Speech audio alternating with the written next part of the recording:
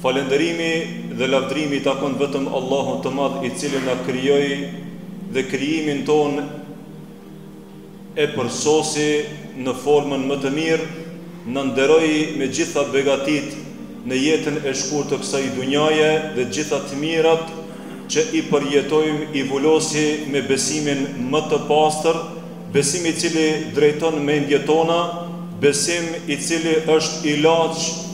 dhe melhem për zemrat tona dhe pastrues i shpirtave tonë, është besim i cili është rregullator dhe sistem i përkryer për jetën tonë të shkurtë dhe mundësi që frymën e fundit Allahut t'ia dorëzojmë faqebardhë. Salatet edhe selamet qofshin për ftyrën më të ndriçuar, për Pejgamberin sallallahu alejhi we sellem, për familjen e tij të pastër, për shokët e tij besnikë dhe për gjithë ata që ndjekin yrnekin e Pejgamberit alejhi selam me plot dëshirë dhe vullnet deri në ditën e fundit. Xhemat i nderuar, kemi nderin dhe respektin që Allahu i Madh po na jep afat të frymojmë, Në jetën e shkurtë të kësaj dunjaje në mesin e shumë begative dhe dhuntive tona në shërbimin tonë për të mirën tonë në këtë botë dhe në botën tjetër e ndër to dhe që janë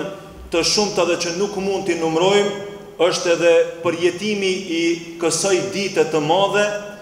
Kësaj dite të xhuma që është veçori e javës, por nuk është vetëm veçori e javës por është veçori e vitit, për arsye se sot dita e xhuma është xhumaja më e mirë e vitit, për një arsye ajo është se jemi në dhjeçin e fundit të muajit dhul hixhe, Dhjeç, i cili është i fundit i vitit, është i muajit dhe i vitit dhe me këto dhjetë ditë e Dhul-Hixhës e përfundojmë vitin hënor. Andaj për këto dhjetë ditë e fundit të muajit Dhul-Hixhe, Allahu i Madh betohet në Kur'an, A ju shumë mirë e dini se Zoti i Madh kur betohet në diçka prej krijesave të Tija, është për të na dhënë sinjalin e duhur, ajo është për ta kuptu vlerën dhe rëndësinë e asaj me të cilën Zoti i Madh betohet. Allahu në Kur'an thotë, Wel-fexhr, Pasha agimin, sepse agimi është Veçori e ditës në të cilën moment Allahu e zbret bereqetin dhe rrizkun e Tij të veçantë për njerëzit e veçantë. Wa layalin ashr, edhe pasha dhjetshin e fundit të muajit Dhul-Hixhe, në të cilën në të cilat ditë jemi tash, U'ash-shaf'i wal-watr, E pasha çiftin edhe tekun, Abdullah ibn Abbasi tha, Çifti edhe teki është për qëllim dita e Arafatit edhe dita e Kurban Bajramit. Andaj vëllezër të nderuar, jemi në ditë për cilat Zoti i Madh u betu dhe i veçoi Zoti i Madh mesin e kret ditëve të vitit. Andaj për këto ditë Na flet edhe i dashuri i Zotit të Madh, i përzgjedhuri i Zotit të Madh i cili na i dëshiron më të mirën pas Rabbul Aleminit. Tha pejgamberi sallallahu alejhi ve selem, Vepra e mirë më e dashur te Zoti, çdo vepër në çdo ditë që është e mirë është e dashur te Zoti, Mirëpo vepra e mirë më e dashur te Zoti është vepra e cila kryhet në dhjetshin e fundit të Dhul-Hixhës. I thanë sahabët, Ja Resulullah, a është edhe më e dashur te Zoti se xhihadi në rrugën e Zotit? Tha Pejgamberi, alejhi selam, tha, Bela! Tha, Përveç atij i cili ka dalë nga familja dhe nga vendi i tij, me pasurinë e tij dhe shpirtin e tij dhe mo nuk kthehet në familjen e tij as me shpirtin e tij e as me pasurinë e tij. Vëllezër të nderuar, kemi nderin dhe privilegjin që jemi në këto ditë shumë të mdhaja, në këto ditë madhështore, andaj na duhet të ndalemi dhe të ndëgjojmë mirë dhe të pyesmi se si duhet t'i kalojmë këto ditë që janë të numëruara dhe ditë e mira kalojnë shumë shpejt, Andaj shembëlltyrën më të mirë dhe më perfekt e kemi shembëlltyrën e Pejgamberit sal-Allahu alejhi-sal-Allahu alejhi wesellem që çdo herë që e ndjekim në çështjet e ibadetit dhe adhurimit dhe në çdo çështje të jetës së kësaj dunjaje nuk na lën hapësirë asnjëherë të gabojmë dhe të rrëshqasmi Pejgamberi sallallahu alejhi ve sellem në rend të parë dhjetshin e fundit të Dhul Hixhës e dallonte me agjërim, e kishte zakon Pejgamberi alejhi selam, ashtu sikurse nuk i lintes sunnet e sabahut për çdo ditë, sunnet e drekës, Sunnetet e Akshamit dhe të Jacisë dhe të Ikindisë e kishte zakon Pejgamberi alejhi selam që asnjëherë të mos e braktisë agjërimin e nëntëshit të Dhul-Hixhës, nga dita e parë e dhjetëshit të fundit deri në ditën e Arafatit e kishte zakon Pejgamberi alejhi selam të agjëron, a ju shumë mirë e dini se Pejgamberi sallallahu alejhi wasallam në Hadithin Kudsi ku thotë Zoti i Madh Krejt veprat e birit të Ademit janë për birin e Ademit, përveç agjërimit, agjërimi është për mua dhe unë shpërblej ashtu si di unë. Andaj vëllezër të nderuar, të mos i braktismi këto ditë pa agjërim, nëse nuk kemi mundësi t'i agjërojmë për çdo ditë, së paku ditën e Arafatit, ditën ku haxhitë që i thojnë Zotit të Madh me ihramet e tyre, Lebejk Allahume lebejk, na të mos e braktismi privilegjin dhe dhuntinë më të madhe, ajo është agjërimi i ditës së Arafatit, për cilën ditë tha Pejgamberi sallallahu alejhi ve sellem, Ai i cili agjëron për hir të Zotit ditën e Arafatit, Allahu ia shlyn gjitha gjunahet e vogla të vitit të kaluar dhe vitit që kanë mbetë, deri në përfundim të këtij viti hënor. Kjo është vepra e parë që na duhet ta kemi parasysh gjatë ditëve që i përjetojmë. Vepra e dytë, që është një shembulltyrë e Pejgamberit sallallahu alejhi ve selem, tha Pejgamberi alejhi selam, Ditët e Dhul-Hixhës janë ditë që na duhet t'i dallojmë me dhikr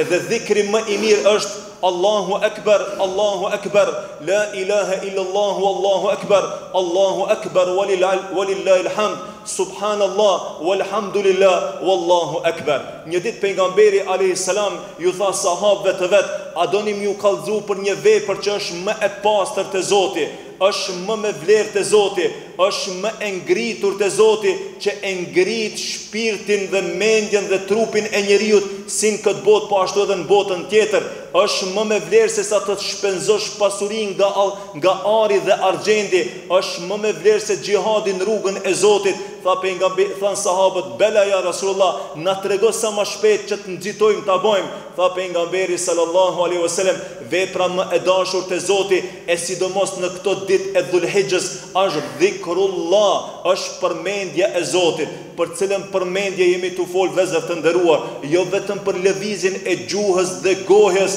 me thonë Estagfirullah, Estagfirullah, na po flasmi për një përmendje të Zotit që na ka mësu pejgamberi alejhi selam, përmendje e Zotit që bahet me shpirt, Përmendje e Zotit që bahet me ndjenja, përmendje e Zotit që bahet me ndërgjegje të shëndoshë, përmendje e Zotit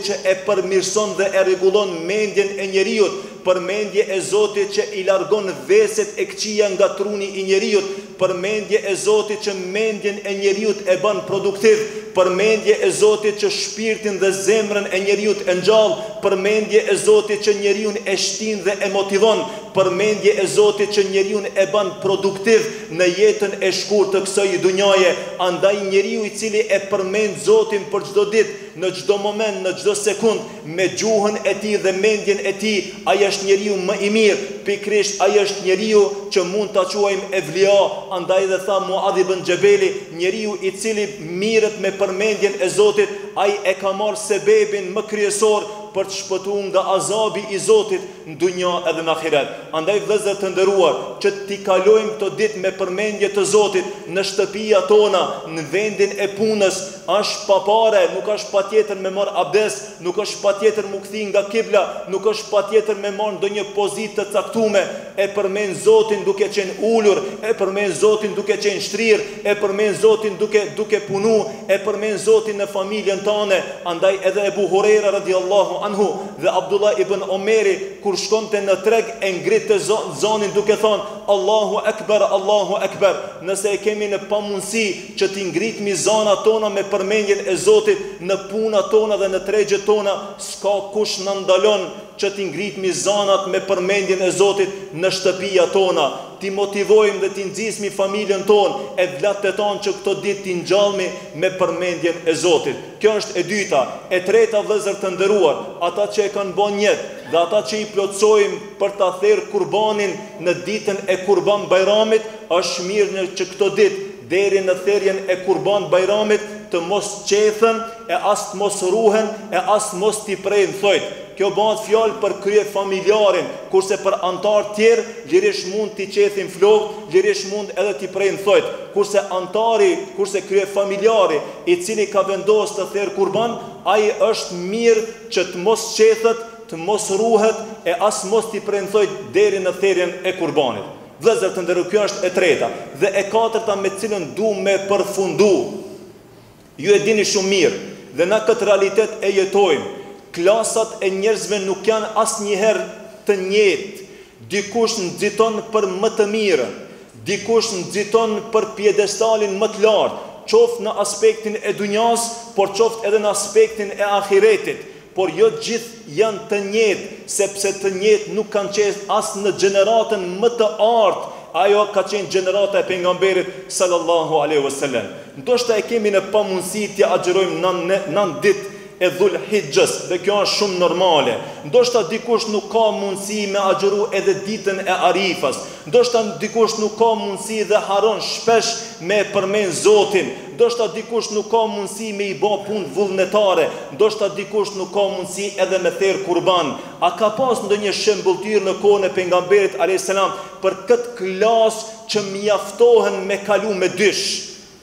I kemi na disa nxans dhe disa student kënaqen me kalu me dysh dhe profesori qka i thot msoj nja dy msime që me e meritu qat dyshin edhe me kalu me zor kshtu disa duhet me i kalu me zor që me shpëtu nga e keqja dhe dënimi i zotit n'dunja dhe në ahiret erdhi një njeri te pengamberi sallallahu alejhi wesellem Por mos mi mshel dyrt krejt vëllezër të nderuar, gjithmon Islami është shërbimin ton, gjithmon Islami është për të mirën ton, gjithmon Islami i jep mundësin minimale çdo njani që asnjani mos me pas arsye me thon o Zot nuk kam pas mundësi me fitu rahmetin tan. Erdh një sahabi te pejgamberi sallallahu alejhi ve sellem dhe i tha ja Resulallah më trego për për punë që janë me vlerë më trego për punë që janë janë me peshë që i don Zoti dhe më avancojnë mu në këtë botë edhe në botën tjetër pejgamberi sallallahu alejhi ve sellem si zakonisht nuk e linte dhe nuk e braktiste asnjanin pa ja dhon atë që i duhet pa ja dhon atë që atij i mjafton Pasi i ndëgjoi Sahabiu i nderuar i tha ja Resulallah, sikurse ju dukun punët e randa, i tha ja Resulallah, po nëse unë e kam pamundësi, nëse unë nuk muj me i ba qëto punë, çka i tha Pejgamberi sa, a i tha ti je për Xhehenem, a i tha se ti je i ngelur, a i tha se ti për ti nuk ka vend, I tha Pejgamberi sallallahu alejhi ve sellem, tha, Nëse nuk mundesh me agjëru, nëse nuk mundesh me agjëru ditën e Arifës, nëse nuk mundesh me e përmend Zotin shumë, nëse nuk mundesh me therr kurban, nëse nuk mundesh me ba punë vullnetare për ta arrit piedestalin më të lartë, tha, s'paku dhe për këtë nuk ki arsye, s'paku largohu nga veprat e këqija, kjo të llogaritet si me dhon sadaka për vetveten. Vëllezër të nderuar, Islami është i lehtë, Islami është shërbimin tonë, andaj, xhemat i nderuar, kjo të mos na, nuk duhet që neve të na rahaton, por kjo vlen për atë klasën që janë dembela, kjo vlen për ata që mjaftohen me kalu me dysh, kjo vlen për ata që dojnë, që dojnë, i dojnë të mirat e Zotit në kokërr të shpinës, kurse neve Zoti i Madh që na ka dhuru ma të mirën, na ka begatu ma të mirën, Çka thotë Zoti i Madh, Wasari'u ila magfiratin min Rabbikum wa jannatin 'arduha as-samawatu wal-ard u'iddat lil-muttakin, Nxitoni, shpejtoni, mos hezitoni, shpejtoni në kërkimin e faljes, shpejtoni në vepra të mira, se nuk e dimë se nesër a do të jemi gjallë apo nuk do të jemi gjallë. Andaj vëllezër të nderuar, na duhet me jetu me një definicion, na duhet me jetu me një kod, Kur bëjmë vepra të mira, duhet me jetu me ndjenjën se ndoshta kjo vepër e mirë asht vepra e fundit, andaj e kishte dhe zakon pejgamberi alejhi selam, kur e falte namazin i përkujtonte sahabët duke ju thanë, falne namazin sikurse ky namaz është i fundit, andaj vëllezër të nderuar me këtë ndjenja duhet me jetu, Nëse ia dëshirojmë të mirën vetvetes, nëse e dëshirojmë që të jetojmë faqebardhë dhe të përfundojmë faqebardhë, por edhe kur bajmë vepra të këqija, edhe kur gabojmë, edhe kur mëkatojmë, të jetojmë me një ndjenjë, ndjenjë e cila e ngjall ndërgjegjen e njeriut, ndjenjë e cila gjithmonë e lën një derë çelë për të shku te Zoti faqebardhë, kur e ban një mëkat, Bëje me ndjenjën se ndoshta pas këtij mëkati nuk ke hapësirë dhe nuk ke mundësi që të kërkojsh falje dhe të pendohesh te Zoti. E lus Zotin e Madh që Allahu, i cili na begatoi dhe na dha frymë që t'i përjetojmë këto ditë e Dhul-Hixhës, të na mundëson Zoti i Madh, t'i kalojmë me ibadet, t'i kalojmë me vepra të mira, t'i kalojmë me lutje, t'i kalojmë me pendim, t'i kalojmë me veprat e shumta të mira që i don Zoti dhe i ka kriju për të mirën tonë dhe në shërbimin tonë dhe enkas në këtë ditë xhumaje dhe në këtë në këtë hutbe të xhuma e lus Zotin e madh Për musafirt që Zoti i Madh i ka thirr, për haxhit e vendit tonë dhe vendeve tjera kudo që janë në botë, e lus Zotin e Madh që Allahu t'ua lehtson procesin e haxhit, Allahu t'ua pranon lutjet, Allahu t'ua pranon çdo mund që ata e japin, që ata ta kryjnë haxhin ashtu si don Zoti i Madh, që të kthehen në familjet e tyre të pastër, ashtu sikurse lind fëmiu në ditën e parë me pa gjunahe dhe me pa mëkate, e lus Zotin e Madh që Allahu neve të na begaton, të na jep çdo të mirë, të na fal gjunahet tona dhe mëkatet tona, të na jep frymë në vepra të mira, duke mendu mirë, duke fol mirë dhe duke ba vepra të mira dhe duke e përfundu jetën tonë me vepra ma të mira, e ajo është vepra e pendimit,